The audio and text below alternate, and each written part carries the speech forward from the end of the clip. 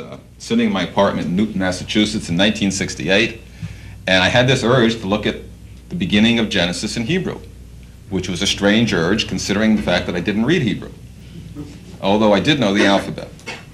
Now, I have one talent in this world, and that is I'm a visual pattern recognizer. As maybe has become evident already.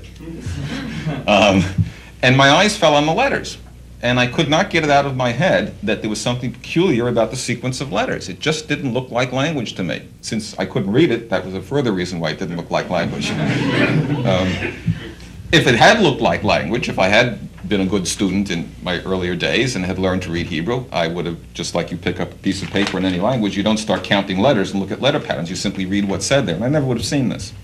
I never learned to read Hebrew, but I did learn to read the alphabet. And my one talent in life is that I'm, I'm a visual pattern recognizer. When I see something visual in front of me that makes a pattern, I spot it very quickly. Now, if I could have read Hebrew, this couldn't have happened. But because I couldn't read the Hebrew words, my eyes fell on the letters. Now, you know, if you hold up a newspaper and you can read the words, you never look at the letters. It would be very difficult to do. But I looked at the letters, and all of the bells and whistles in my brain went off. All those pattern recognizing alarms went off and said there is something most unusual, something peculiar about this sequence of letters. So I asked around, assuming that Genesis was the most heavily researched document going, and people told me they didn't know what I was talking about. I asked a rabbi, I asked a priest, I went over to MIT, I went over to Harvard, I, nothing.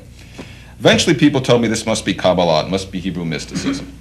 I'd never heard of Kabbalah, um, so I decided I'd better get educated if I was going to figure out what was going on here. And I realized that if no one knew about this, and there really was some kind of coding in the letters of the text of Genesis, then this could be very important. So, I spent from 1968 until 1978 when we moved to San Francisco collecting and reading just about every text in English that I could find that was on mystical traditions. I read Kabbalistic material, Hebrew tradition. I read Christian and Muslim.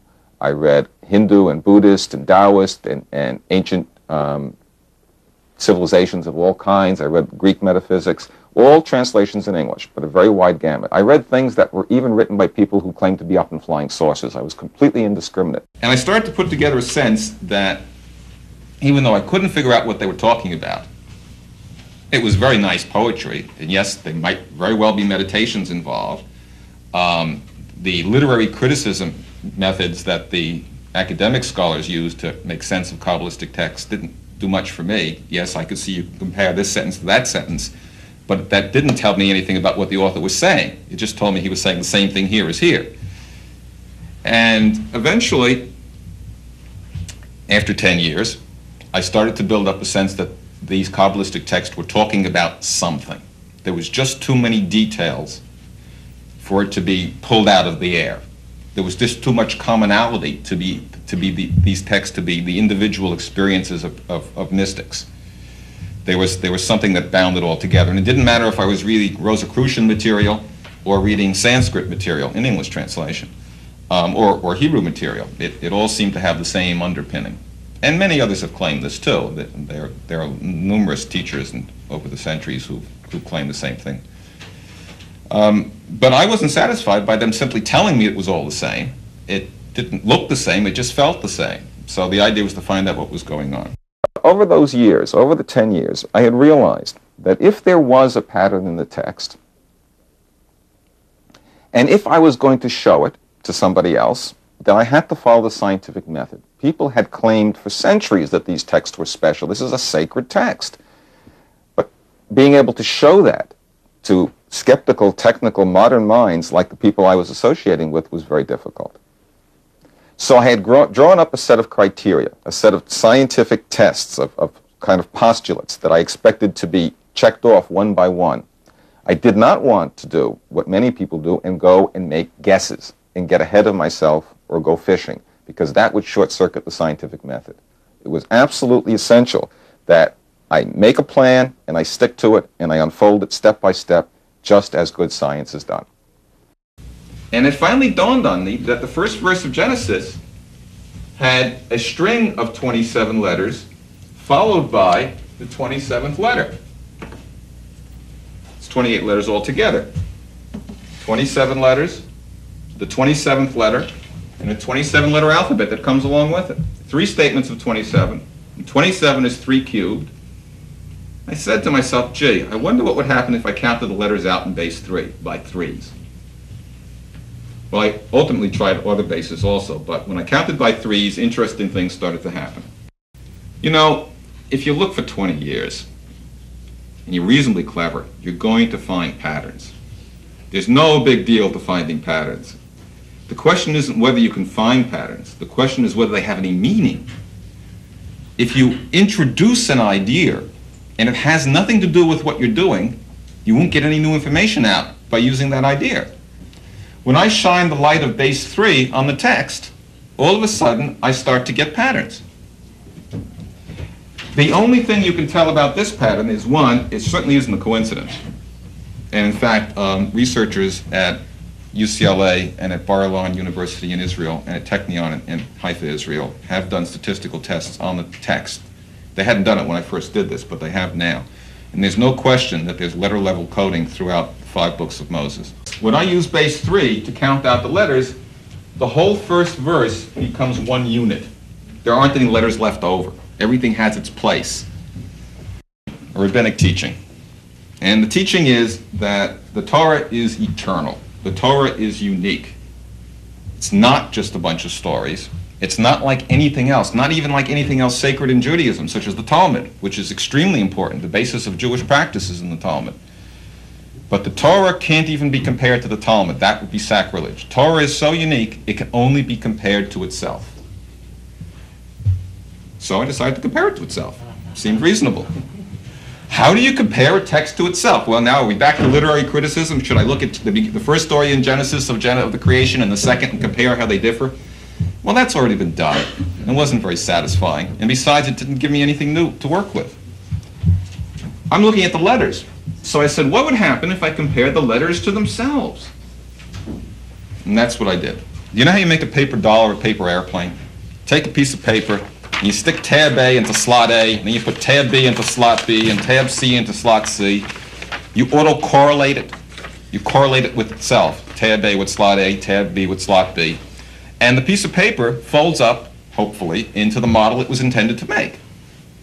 And so I decided to fold up this string of letters in such a way that letters that were the same were going to be next to each other.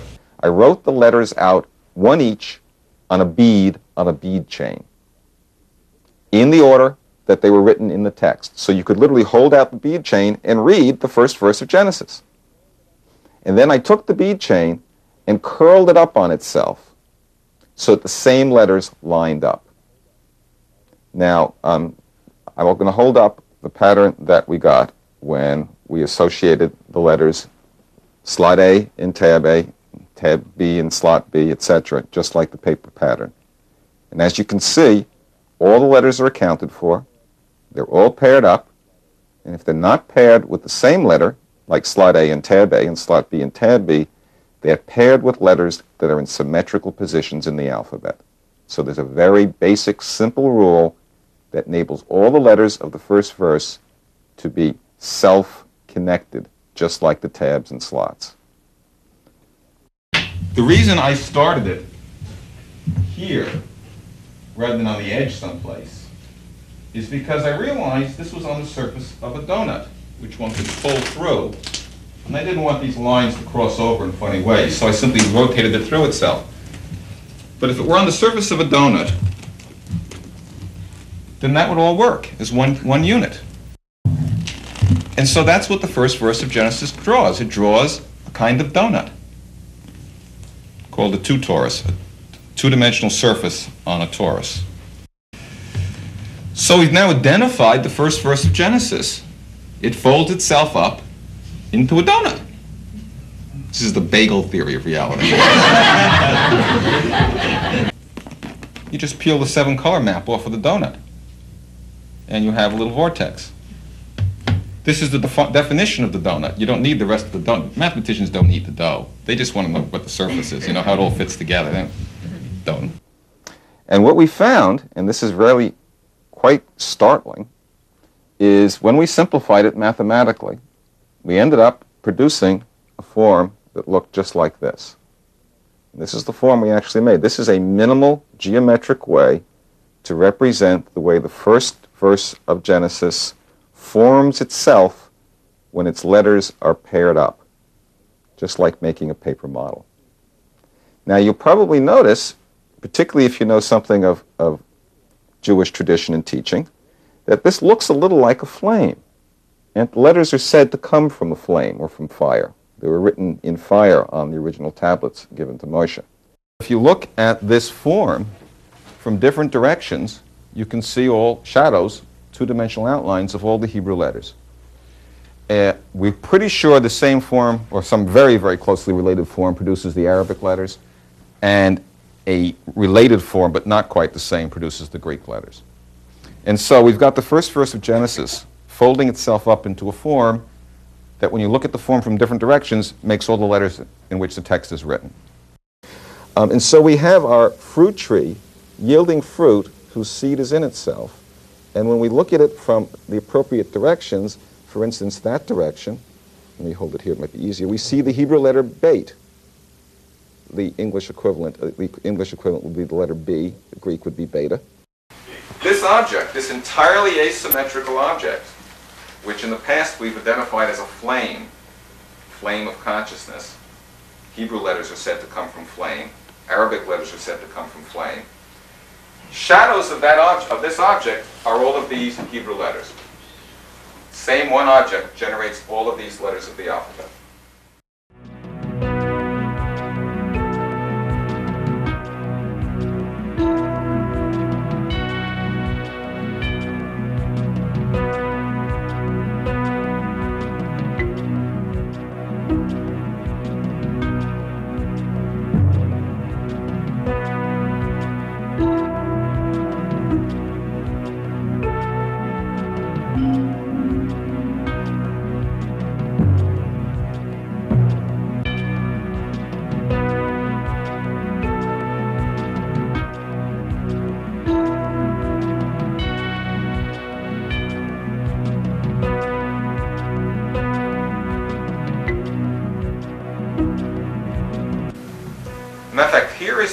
Text written in an alphabet that curls itself up into a form that casts shadows that are the letters that the text is written in. Fruit tree yielding fruit whose seed is in itself. That is very self-embedded. That is very self-referential. That's a very reflexive process.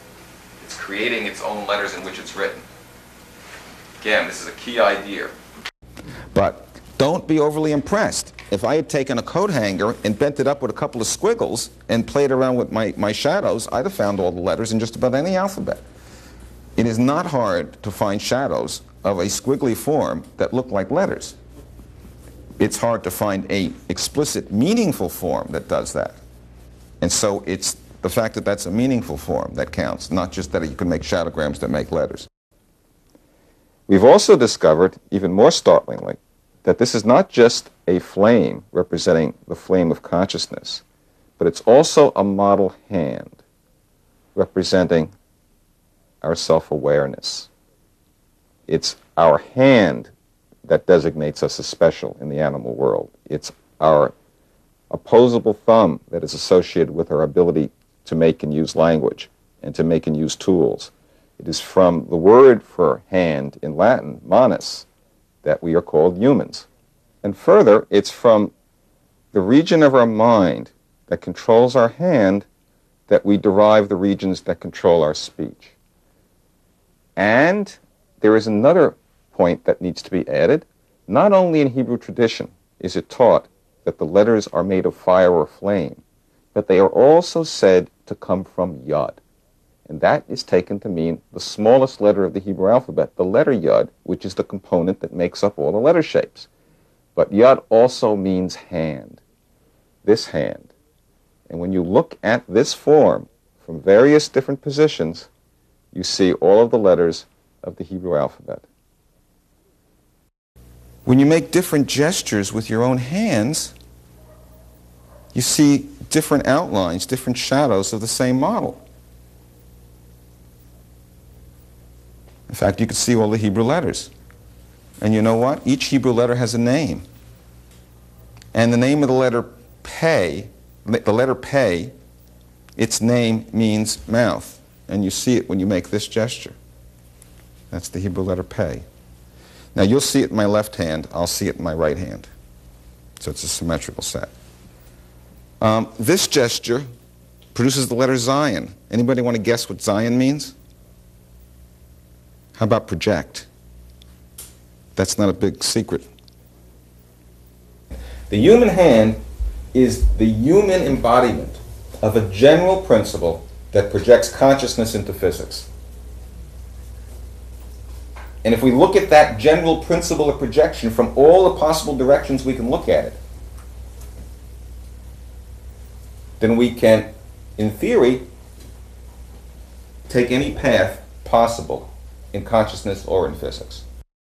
So what we're, what we're finding is that there is a general principle that models the way we project our will into the world, which is an analogy for the way if I can say this, God's will is projected into the world through us, that this is a, a cascade of creation, mm-hmm. that we are in the line of this cascade, and that this is a model of it. So that's what we have here. Um, we have a natural, universal gesture language turned into a formal system for recording and playing back meditational exercises which can become the true basis for a science of consciousness, which in modern terms becomes a religion, um, or several religions actually. In fact, that's also what this model talks about. This is very controversial material because, um, in the words of a friendly scholar, it can't be so. Um, and what, of course, he means is that if it is so, then there's a lot of readjustment to make. Um, and I try to explain to people that this really doesn't say anything like I'm right and you're all wrong. Um, it says rather that this is a deeper level that integrates a whole range of material. And it demonstrates mostly that what the scholars have been saying and what the religious people have been saying um, and what the different religious people have been saying, they've all been right, but in their own contexts. And that if you go deeper, then you find something more common. Let, let, let me say it. I think that if we get this right, if we can figure out what this natural unfoldment is, and we keep track of it in the way that was intended, which is going to be the most compact and economical way, we are going to be able to show that the sequence of letters in the text of Genesis is just as determined as the sequence of digits in the decimal expansion for pi. That is a natural artifact of this universe at the level level. In fact, that quality is very similar to pi. After all, the text, you're not supposed to change a letter. It'd be the destruction of the universe. If you changed any digit in pi, it wouldn't be pi. And I think uh, your use of the mathematical metaphor here is not just an accident. No, not at all, because mathematically we understand the idea of truth as modeling something experimental that we find in the real world if someone says they have a truth and they use a spiritual sense, we tend to laugh at them. Well, your truth, your truth, whose truth is truth? But if these texts were canonized based on the fact that the sequence of letters was as precise and explicit as the sequence of digits in, say, a universal constant like pi, then we have a whole different understanding of what might have been meant by the various sages of these various traditions claiming they had the truth. Mm-hmm. This is the letter bet, bait. It's the first letter of the text of Genesis. It's the one translated in the. Its formal meaning is house. But God's not a noun, God's a verb. In Hebrew is a real mode language. That means the primary roots are verbs, not nouns. So it's not a house, it's housing. It's what a house does. Most people don't pay any attention to this. But in fact, if you can check the references, I think even David Bohm mentions this in, in the quantum reality book, which is so wonderful. Um, a bait represents the distinction between inside and outside. And that's going to turn out to be enormously important. The credo of Judaism, what Abraham is credited with discovering, is the unity of inside and outside. There is a four-letter name and a five-letter name for God. The four-letter name is the transcendent point within. The five-letter name is all there is, the panoply, the immanence of the universe. Many people over the centuries have had meditational experiences, have come upon that one point of light, that meditational, that transcendental point within. And people for centuries have worshipped idols and gods of all kinds. And everyone knows, or at least most people in this room know, that if you do your affirmations, even if it's to a pagan golden calf or something, you're going to get what you want because the process of affirmation causes manifestation. The key to this teaching, on which the Abrahamic faiths are based, on which the Brahmic faiths are based, is that these two manifestations of deity, of divinity, are identical, are unique. That's what Krishna was saying too. That the God within, the point, the meditational point, and the all there is, the panoply of nature in the physical world, the God of immanence, are one, are unity. Inside, outside, and the process of resolving them is also unity. This is the first word of Genesis. Let's look at the first word of Genesis. It's supposed to contain the whole secret. It's supposed to be able to repeat this bait, this basic idea in more detail. So here's the bait, which means in or in the. And then we have this word reshis, which is said to mean at the head of, because the word resh means head. Well, there's another root in here, which is not usually discussed, and that's this root, reshet. Reshet is a woven net or a network.